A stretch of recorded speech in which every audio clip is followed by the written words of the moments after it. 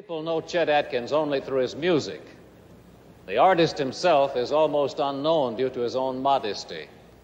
However, his friends are always willing to tell a lot about his many accomplishments. They'll tell you that uh, Chet has designed at least three guitars. He's the author of the Chet Atkins Guitar Book, manages to cut some 600 sides a year, and is often referred to as RCA's man in Nashville. Here's Mr. Guitar, Chet Atkins.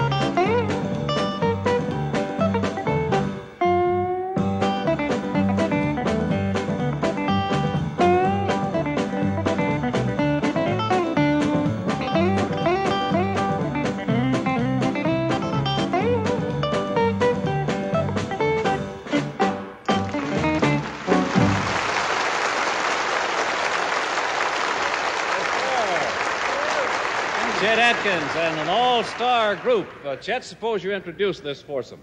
Be glad to, Judd. We have uh, a fellow that plays concerts with us all around the country. He plays good drums, Jack Grubel.